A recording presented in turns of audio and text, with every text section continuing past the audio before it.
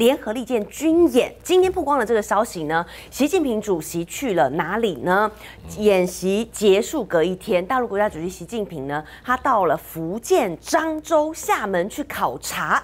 好，我们要特别来看一个地方哦，这个地方呢叫做东山岛的陈城镇的一个澳角村。然后呢，他又到了这一些纪念馆啦，也包含了这个关帝文化的产业园区。但是呢，从中间我们要来看，就是东山岛其实在两岸关系当中是非常有军事跟政治意涵的，尤其是呢。东山岛南侧的大城湾啊，这边呢就是摆了许多解放军对台登陆作战的重要据点。我们先来看这则新闻报道：促进两岸文化交流，共同弘扬中华文化，增进台湾同胞的民族认同、文化认同、国家认同，依托宗亲、乡亲、祖地文化等纽带，广泛凝聚侨心。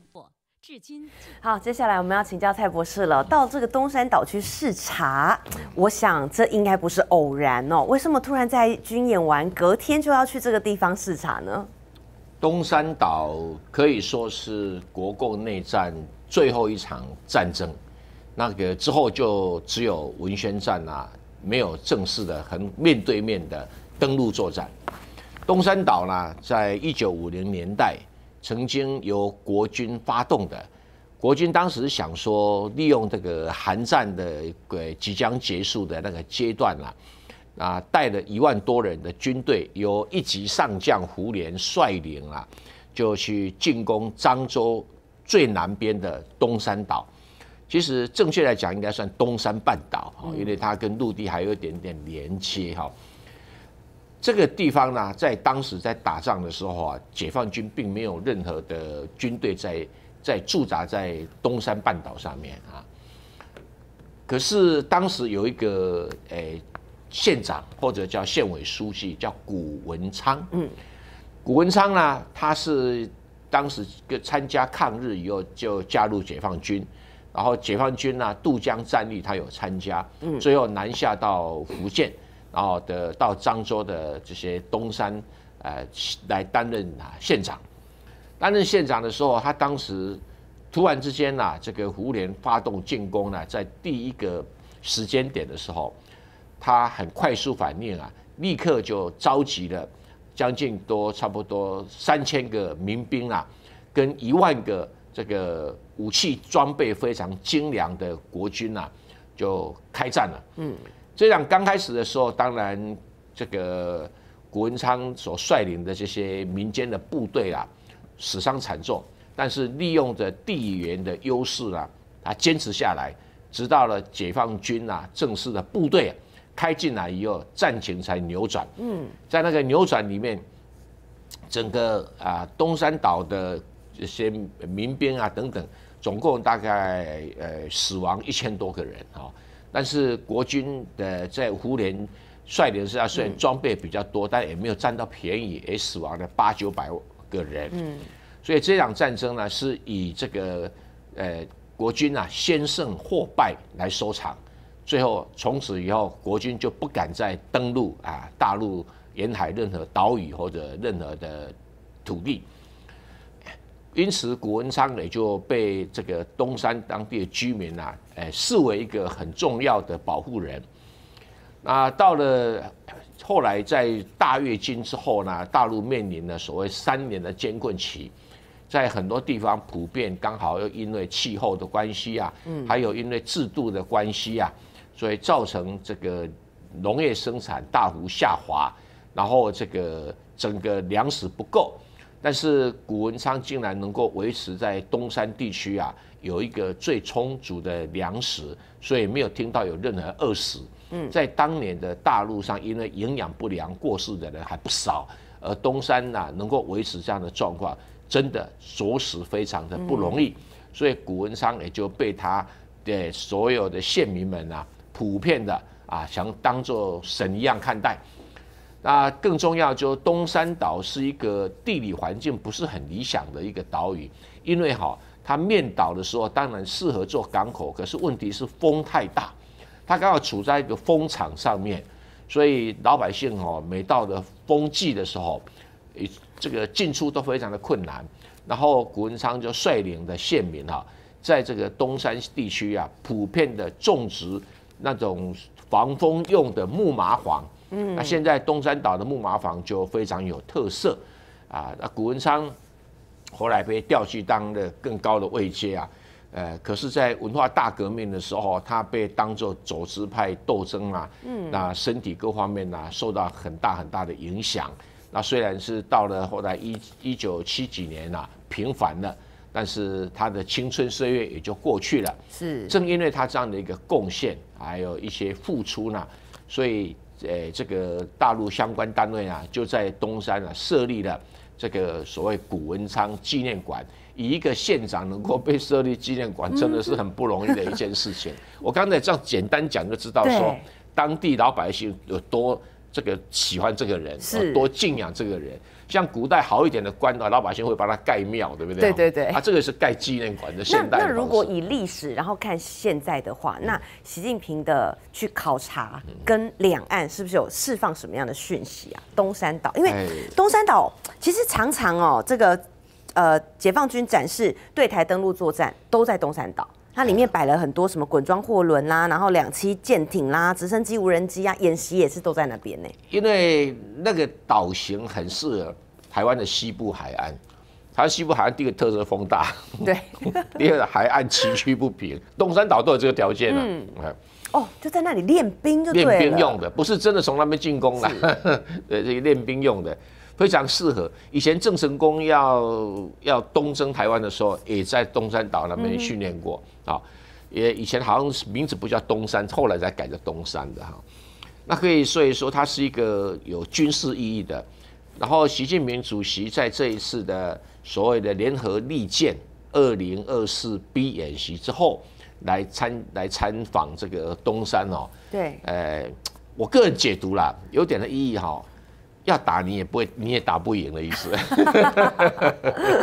在告诉台湾，尤其赖清德，你想打也打不赢了。嗯。但同时，他又参观的东山有一个非常古老的关帝庙。对。啊，那关帝老爷就是我们两岸大家共同崇拜的啊，一个一个神明啊，就是《三国演义》里面的关云长。虽然说民进党现在讲说，哦，那是统战，哎，这个文化统战。统战就是是印尼民进党讲的就算嘛，嗯。啊，那他特别去参观这个所谓的关帝爷的文化产业园区，对，那就是一个以关帝的土地很大吧，嗯，所以提供出来哈，给大家两岸都看得懂的，都看得懂了，看得懂，大家都很认识这位先生。那他讲的这这这些话，您您怎么解读呢？其实。刚刚才节目开始之前，我跟蔡博士在聊，蔡博士就说软硬兼施啊，对对，好，因为这边讲的很明白嘛，啊，探索海峡两岸啊融合发展的新路上迈出更大的步伐。他讲新路上，同时还说哦，建设好两岸融合示范区，促进两岸文化交流，增进台湾民众的民族文化和国家认同。因为他去考察的时候，他旁边诶有几个人陪同，一个是。福建省委书记，嗯一个福建省省长，还有个国务院的副总理，啊，三个陪他去，何立峰陪他去看啊参访。那他一向是认为，就是说，要在这个文化认同、啊国家认同、民族认同上面来跟台湾做交流。嗯，啊，因因为这个民进党正在讲这个文化这个呃隔离啊，民族隔离，国家隔离。那他就讲，那你隔离我就认同，所以变成说这是一个意识形态战场上面一个一个非常重要的一个习近平的路线在进行。那这是软的部分，对，硬的部分就是我去看古文昌纪念馆，你们大家看懂哈？啊，看懂，了解了，对，所以我说又软又硬，硬的更硬，软的更软。哎，对，这就是两岸现在的这个呃策略哦。好，那接下来呢？看完两岸，我们来看一下在中东。哎，现在一发不可收拾。哎，以色列现在呢，真的是如同标题所写的，以色列打疯了。而且呢，现在美国大选剩不到一个月的时间，这是不是纳坦雅胡他的黄金时间？他认为的黄金时间呢？首先，我们先来看，呃，以色列又干嘛呢？以色列不断的在打真主党，只要任何跟真主党有关的，包含了叙利亚，他觉得你跟真主党很好，他也打，所以呢，攻击了空袭叙利亚的滨海城市，然后也造成，呃。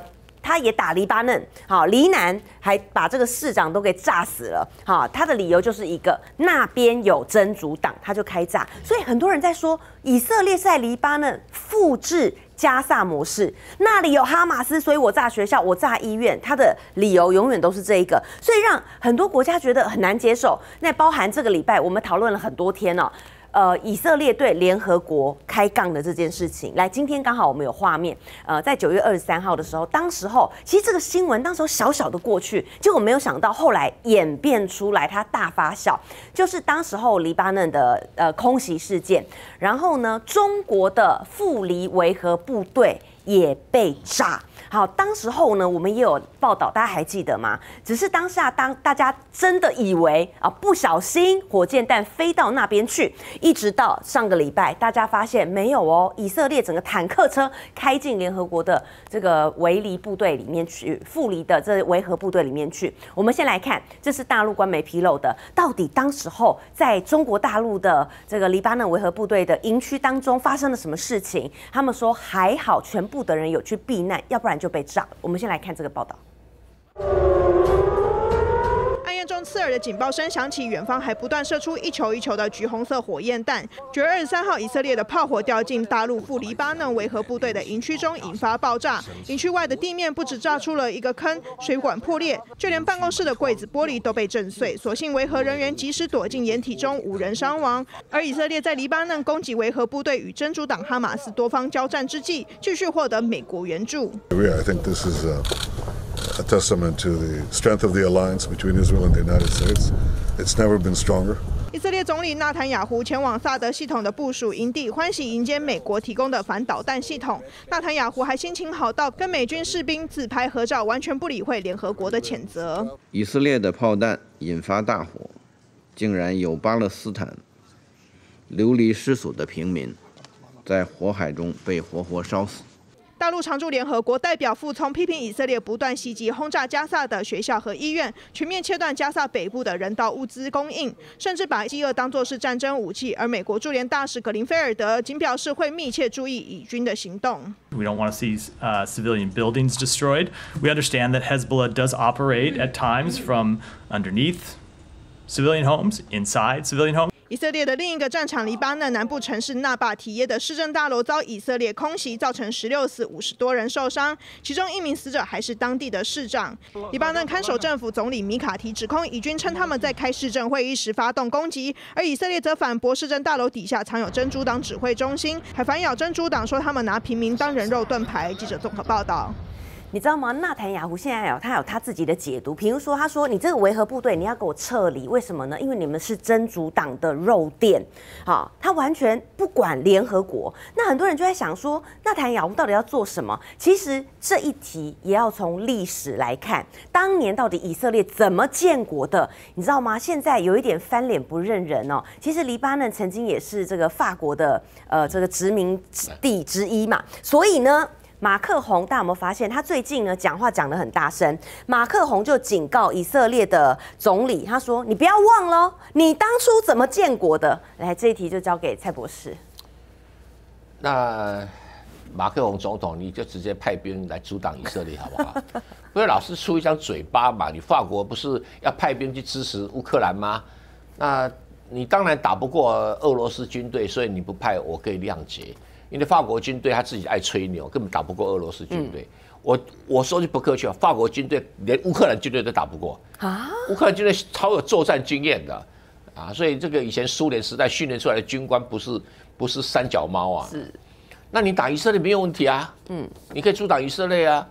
为什么不去？光用嘴巴讲哈，就没有去履行这个呃联合国的决议啊？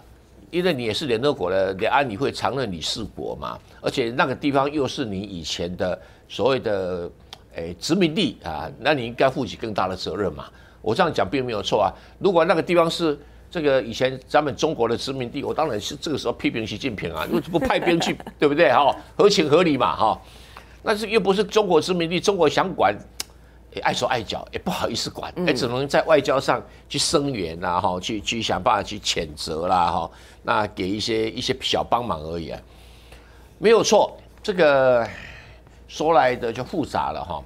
当时巴勒斯坦的地区建国的确是呃联合国决议正式通过的，嗯，但答应是英国人答应，因为那个地方是英国的所谓管区，英国的殖民地哈。因为当时的这个所谓的呃土耳其帝国哈，以前呃我们给它一个名字叫做鄂图曼帝国。对，鄂图曼帝国在一次大战瓦解的时候啊，那英国就答应犹太人到那边建国。为什么？因为在一次大战，犹太人出钱出力。嗯，那二次大战犹太人被纳粹杀害很多，哎，出钱出力，所以就有了一个协议，就是说，哎，你继续帮我忙打仗，出钱，你就我就让你回去这个。诶，盖一个一个新的国家啊，那可是联合国决议的时候，旁边的阿拉伯人都不同意啊。嗯，那不同意怎么办？因为跟当时阿拉伯人哦，有大部分不是全部，大部分是支持鄂图曼帝国，在第一次世界大战是鄂图曼帝国，但是打败了啊，打败了就比较没话讲了哈。所以刚开始这个以色列一建国一宣布的时候，旁边受阿拉伯国家联合起来打他一个人，但是。很特殊，那时候他以色列竟然以一敌好几个打赢了。嗯，那打赢了，他就占了很多土地啊，占了就不放了，哎，就不退了。你先打了，我再来的话，我赢了土地有什么要还给你的？对。所以以色列的土地一直扩大，一直扩大。那拓扩大土地并没有被联合国接受。嗯啊，几年来一直都让他退回去。对。但是这已经是老账了哈。现在就说我们到底怎么处理以哈问题？我觉得中国的政策是对的，分成两个国家。各自回去要约束自己，嗯不要互相攻击。以色列你也不要攻击哈马斯啊，或者其他你也也也不要去攻击。对。然后中国又把本来很复杂的巴勒斯坦的的各什么十几个团体，有没有找到北京去发表北京宣言？年初的时候。以后你们都听法塔尔的。嗯。啊，那哈马斯被打得很惨的，只好接受了。是。啊，其他教派更小啊，所以都都通通接受了啊。那如果这样子的话，两国论就有希望了哈，因为法塔尔也是不主张打以色列，愿意跟以色列和平共存。那以色列也没有去打法塔尔，互相约束自己一些比较激烈的人，那应该两国论就有希望，这是唯一的出路。对，要不然打到最后都死光了，以色列你国力也会被削弱，然后你黎巴嫩、叙利亚、巴勒斯坦没有人有好处啊，真的没有人有好处啊，那何必这样子呢？哈，那像现在以色列发动空袭拉塔基亚。拉塔基亚没有错啦，是现任的叙利亚总统啊，阿萨德啊，什么什么他们的这个阵地嘛，跟的老街老巢了哈。可是这个地方大部分都基督徒啊，嗯啊，因为这因为这个很多基督徒的一个一个驻地了哈，但是也被打了。那被打的时候，据说是这个因为叙利亚供应珍珠党的军火都放在那边了。哦啊，对，那这个就就说来的话长，因为也没有证据嘛哈。那还有这个火箭弹掉入中国的维和的营区哈，呃还好中专门中国的军队反应太快了，对，马上跑到地下的这个 掩蔽层，早就掩体了哈。不过真的要重新去检讨一下哈，就是维和部队到底能够做什么功能啊？对，因为维和部队在欧洲是很有功能，可是，在黎巴嫩有点的摆在那边吓唬人而已啊，啊，所以因为指挥官是意大利嘛。对，所以意大利的总指挥哈，那他什么也不敢做啊。是，那咱们中国会部队也不是总指挥啊，是只只是其中一个部队，我们也不好意思自己做什么主张啊，所以在那边只要呆呆的哈。被被修理啊，不然怎么办？难怪这个意大利总理梅诺尼这么生气啊，因为他们是算是他们是总指挥啊，兵力部署。对，联合国决议就是被啪啪打脸啊。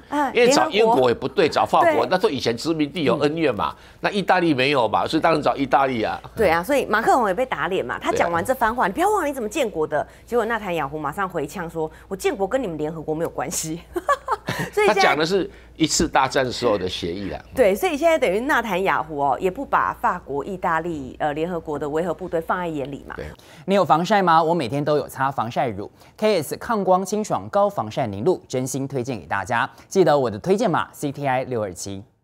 朋友都知道我是很挑剔的，防晒乳我选 KS 皇家呵护抗光清爽高防晒凝露，因为它有媲美蓝光神盾的抓藻植萃，保护我在阳光下延缓肌肤老化，维持青春弹力，可以防御工作环境里的三 C 商品各种光源对肌肤的伤害，擦起来清爽不黏腻。我特别喜欢它做到海洋友善。三百六十五天，天天抗光抗老化，是我的保养日常。你呢？呵护您，呵护全家人，专属你的 KS Royal Care 抗光清爽高防晒凝露。